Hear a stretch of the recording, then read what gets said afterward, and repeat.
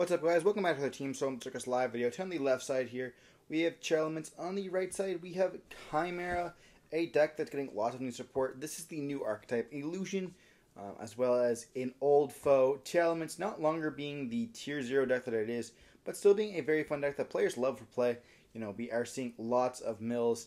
Um, there's different variations in the deck, and I really do like it. I like how we have, like, we switched it up a little bit. You know, some people are playing the, um, the hero stuff now.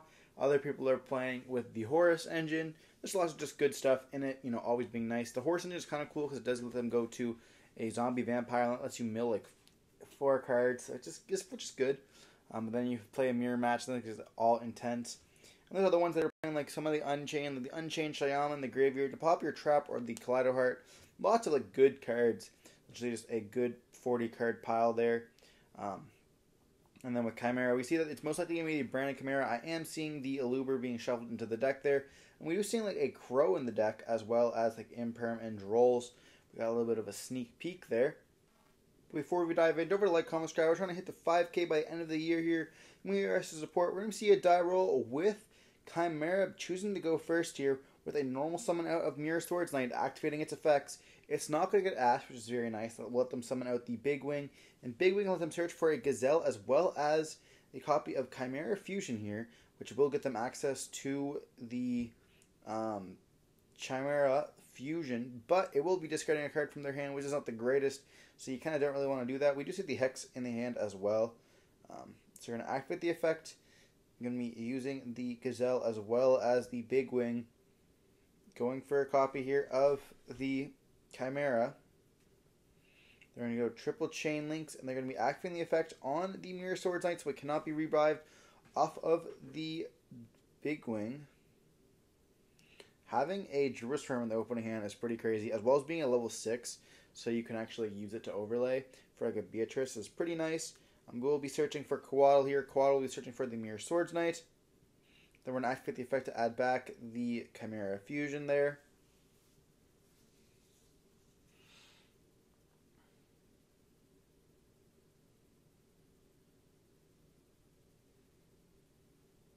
Do have quite a few cards in hand. I know we're going to set that Imperm and the uh, Fusion, but we've already normaled as well. You see a Droll. So we have Droll, Imperm, Fusion. Okay. And then we are going to be hand ripping them here. Hitting a foolish burial goods is quite good for us. You know, having them not be able to send like a Chibi Karma from the deck is uh, quite quite good at what it's supposed to be doing. We do also have a droll in the hand, so you know it it will be preventing us from using the Guardian Chimera, but we're gonna see them go straight in the battle phase, and Jerusalem's gonna be attacking over the uh, the fusion there. That will kind of a little bit prevent Guardian Chimera, but they can still you know banish to summon out. Then we're going to see uh, them activate a foolish goods here. So having both goods in the hand.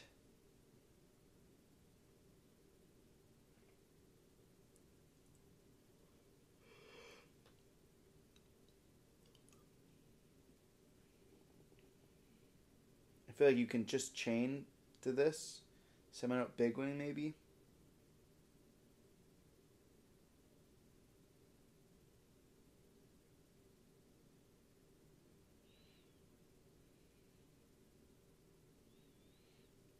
Chaining Gar- uh, Chimera Fusion here. And then chaining the copy of the King in the Graveyard as well.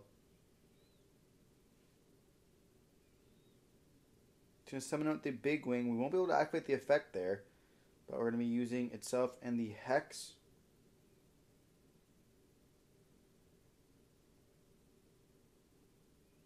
To go for Lubellion, okay. That can be kind of Albaz. So it does make sense. So you're going to send the Kelbek.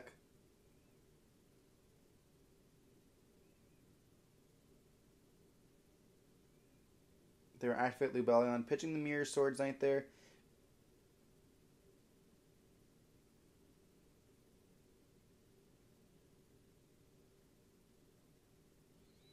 Then we're going to be banishing or shuffling back. We can shuffle back the ones that are in the banished.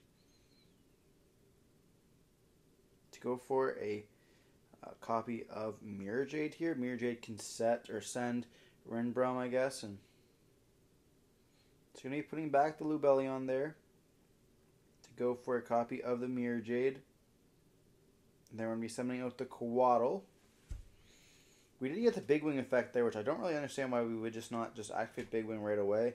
We're going to see Kelbek's effects can activate as well, which is going to be milling 5.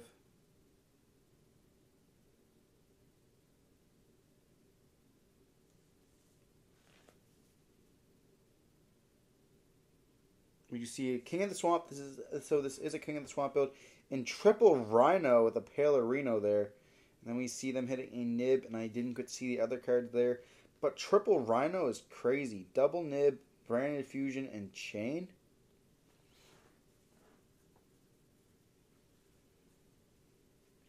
So we're going to see one of the Rhinos activate to summon.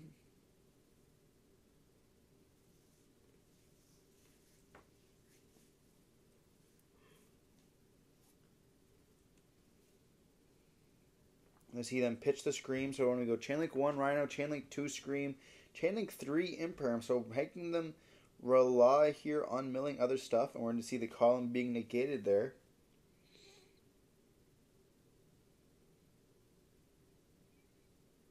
Adding a trap isn't the greatest there, but it's either really Sulliek or Metanoise, unless they're playing like Cryme in the main deck, which is quite unusual. And we do have Mirror Jade onto the field, which is still alive. They're going to be adding, I believe that is Sulliek.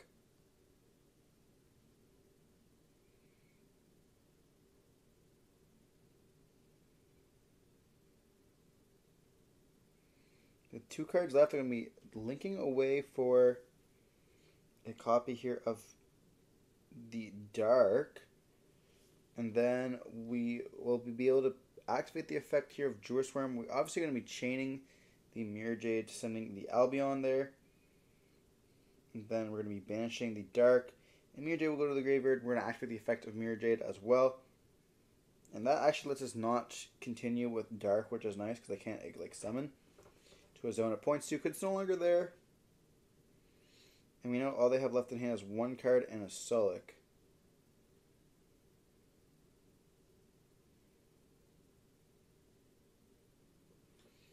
Whenever they do something, it's going to get destroyed here, which is nice.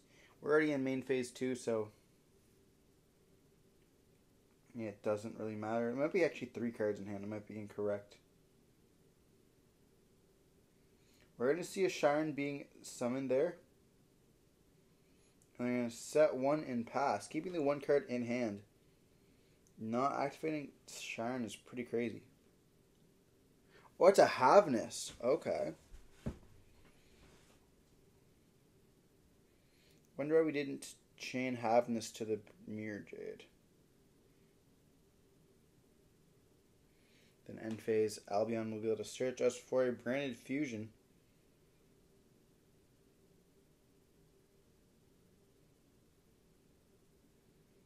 You see it getting sent to the graveyard, and then Rulkallos will be made by shuffling back the King of the Swamp as well as the Sharon, which is pretty nice there. We'll be able to negate the branded fusion.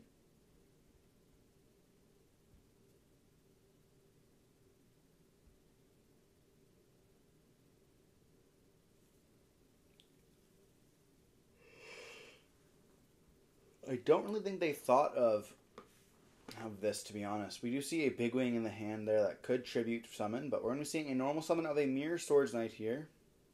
Activating the effect that will resolve. Summoning out Gazelle. And then we're going to be seeing Sulliek being chained to this. And then we're going to also see the effect of Rukulo summon herself out because she was sent to the graveyard there which means that the mirror, uh, the brand fusion still will not resolve. We're going to activate brand fusion. There's no way it goes through.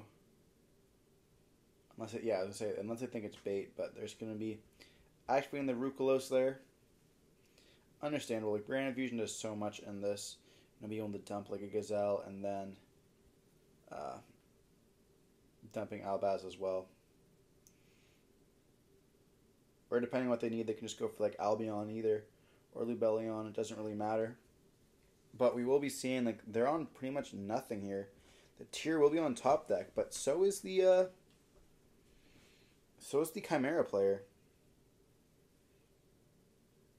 We're gonna see a special summon out of a Fenrir. That is huge in this. You know, having a Fenrir against a top deck is just insane.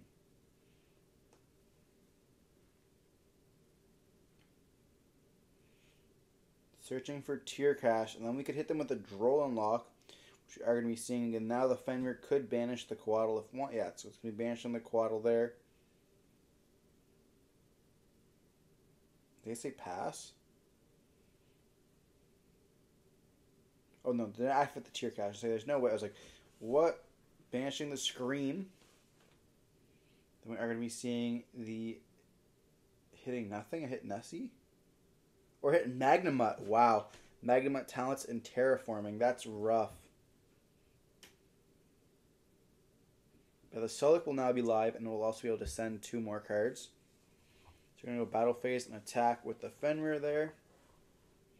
Well, Tier Cash can attack into the defense vision monster, then they're going to take 24 from the cash, but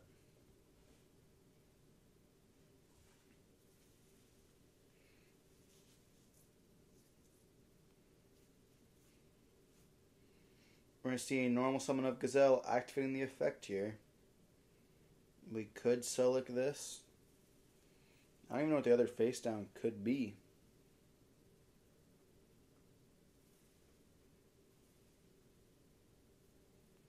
I know we have Big Wing in hand as well as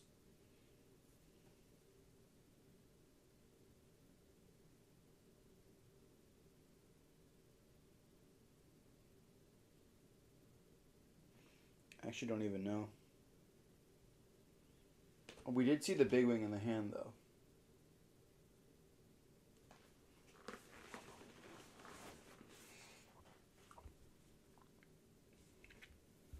It looks like Chimeras is going to swoop it up here. You know, having Big Wing in the hand is kind of unfortunate. And, you know, having that Rulkallos, being able to come back is just so rough. Sometimes it's not even worth worth activating the effect there of Mirror Jade because we knew our opponent will be able to, like, I mean, they're kind of like banking on like having a summon.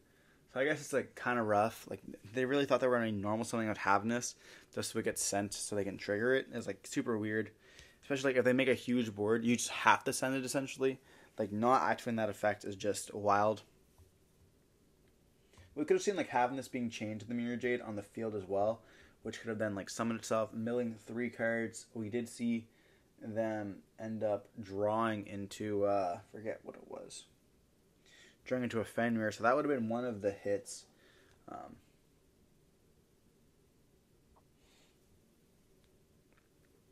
but we'll be seeing game two here. It's quite unfortunate. We've seen Sean on the channel a lot with Chimera, and he ends up always drawing the big wings. It's like almost like it's stuck to his hand, like Shyama stuck to mine. I wonder if there's a deck out there that just doesn't run any bricks. But that'd probably be like a little bit too consistent, I guess. If you guys know any decks that don't run bricks, let me know in the comment section down below. I'd love to have a deck that just absolutely does not brick. And yes, Lab does brick, so that is not something you guys can put in the comment section down below. There's been quite a few times where I have bricked with Lab. But we're going to be moving on into game two here with Chimera going to be able to choose who's going to go first most likely going to be choosing themselves. And we did see like a Druid turn zero there. That was pretty unexpected, to be honest. I didn't think I would see it tier on a Druid Swarm in the main deck. The only reason why I can see it is like it is a level six. It's also good against Unchained, but like it's Unchained and Branded. Everything's good against Branded though, so it's just like so hard. But like it's horrible against like Rescue Ace and stuff like that. We did see how it worked out for them, though. They were able to attack and then, you know, be able to send that um, that mirror jade there, which like made the whole thing happen. So Green diving back in again. We see the Guardian or Chimera fusion here, another spell, and then three other monsters. Is one of them branded opening? Okay. We're gonna see them activate Guardian or Chimera Fusion, make the beast right away with both the cards in the hand. So opening up Big Wing once again. Then we're gonna activate the effects here. I'm just gonna search for a Coatl. Then we also have the Mirror Swords Knight as well. We can pitch, I guess. We can activate the Coatl here. Search for Mirror Swords Knight. Now we have a normal summon. That's quite good for us. I think I also saw a Fenrir in the hand. Activate the branded opening, pitching the Fenrir. I just don't understand why we didn't summon the Fenrir in the first place. Then we're activate the Aluber. Aluber effect will here be able to search us for branded fusion. Is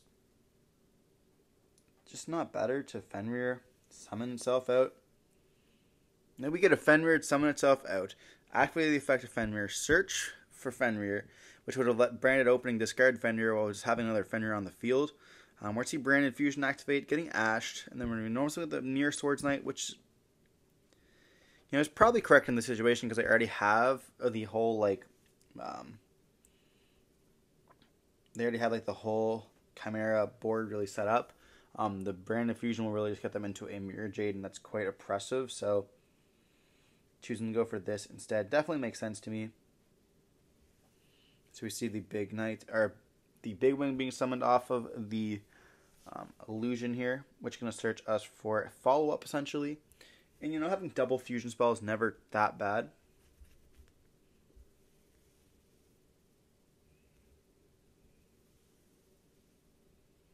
You know, we did rip one card of their hand by Ash Blossom. And, you know, potentially having another. Well, we're going to see another rip here. But if we could see like another low impact hand trap being used, it could be quite nice. We're going to see another Chimera Fusion probably being making for a copy of the um, Plant Dragostapelia, maybe? Or going for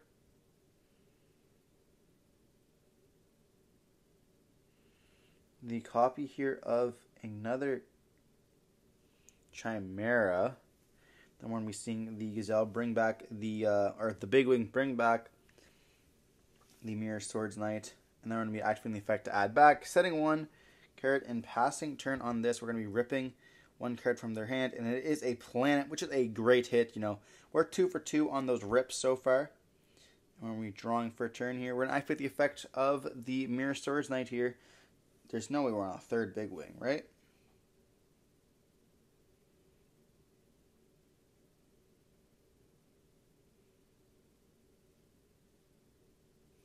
Yeah, we're not on a third big wing. We're probably going to summon out a Gazelle here, but unfortunately we have Gazelle already in the hand.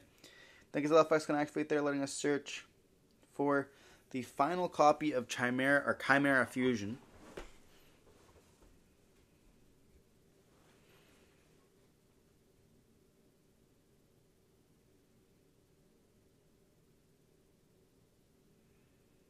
They're going to see the effect of King of the Swamp being activated here, letting them search for a polymerization.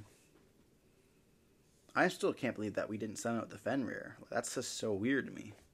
It's like an extra body on the field for no reason. And deck thinning.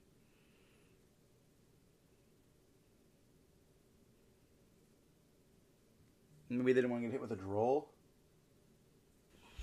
We see a tear cache activate here, so trying to banish from the hand um, we do have the Guardian or the Chimera Fusion set, but it's all good to go. We're going to be banishing another copy of Tear Cache here, and then we're going to be activating the effect to mill three here. Only two cards left in the hand. It looks like we're gonna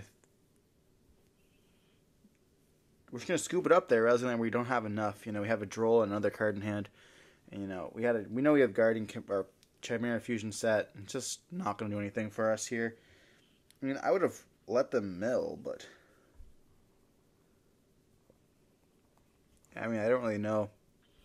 We at least tried to mill, I guess, but would have been quite difficult. I know we would have gotten an extra two mills there. We would have milled three, and then whenever the Guardian Chimera comes out, we're gonna mill another two, but I guess just wanting to scoop it up there. We're going to game three. You know, their opponent does have a lot. We're only on two cards, so our mills would have to be pretty good.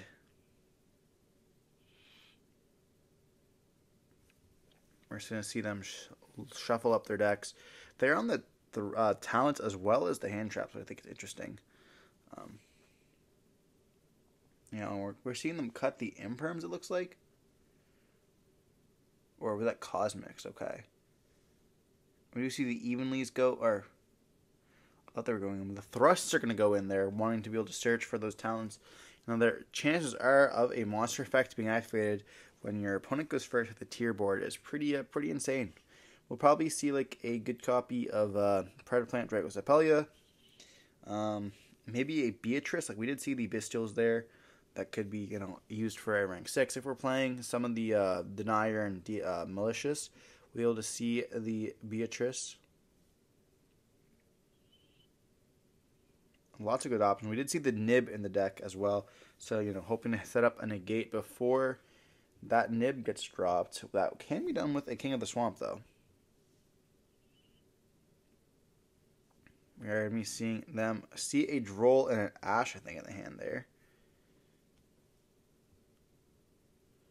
I see them special note the Fenrir here, which is already that good, like already crazy. Activate the tier planet, so not wanting to get hit with the droll. Want to see them search, maybe already having the Fenrir or the other card in the hand there, searching for a shine, and we are going to be seeing a droll on res, so they will not be able to search for Kashtira, um, or the yeah tier cash. But Shine can get you there, though. We're going to see the Shine effect be activated there, sending a copy of Rhino Heart, and we hit Rhino Heart, Medora, and Scream.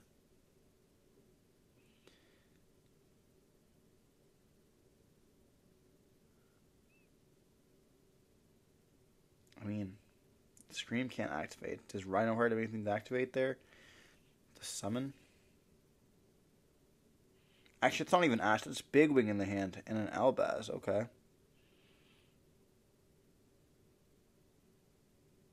We don't have anything to send. We're just a set one and pass here. Wow.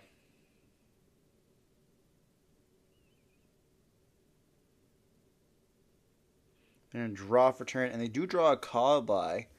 That's quite good. So we can just like negate any of the hand traps they have in hand, or we could just negate their shine if it gets sent to the graveyard with one of like the tier names.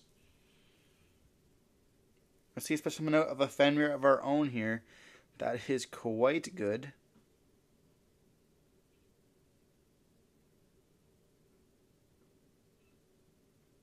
Then when we're seeing them flip up a Sulliek, after the effect, sending the Shire to the graveyard here. But we have the call by the grave for it. It's going to negate the effects of Fenrir. We're pretty much forced to call by, no? They're a chain opening here.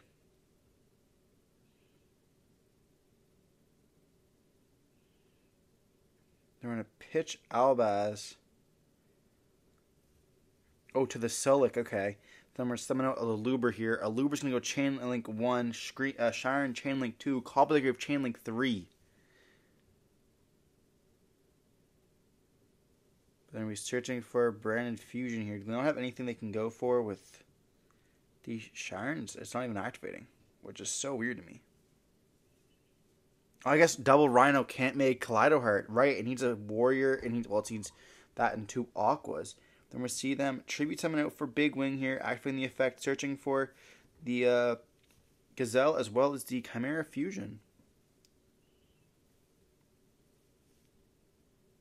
Dare I say this game is already over here for the uh, for the tier player.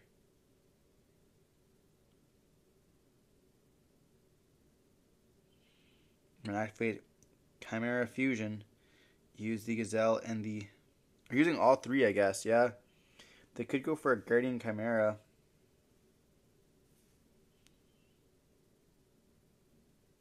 Or just going for the two, going for the uh, the new one, it looks like.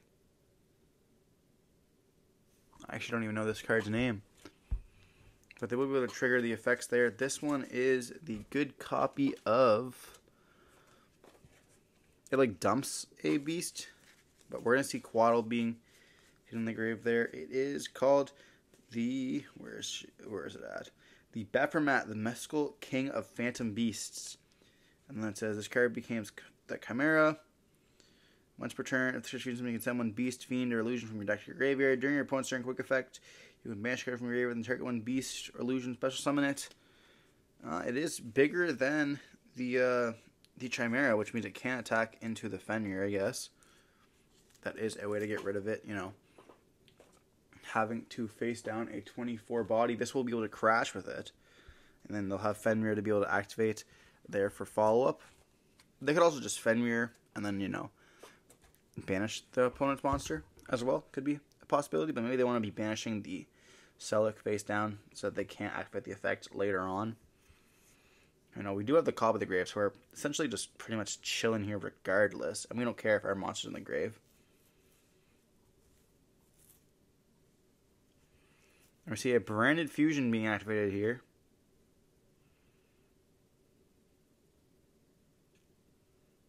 And then we're going to see them chain Call by the Grave and the Sharon. And Medora's going to be chaining as well here. Or can we change to the Medora so they don't get the shuffle back? So I'm trying to go for the copy of Lubellion here. But Lubellion will be able to negate there. That makes sense. I guess kind of negate. They'll be able to shuffle back the target so they won't be able to summon itself out. And then we're going to go for the Albion here.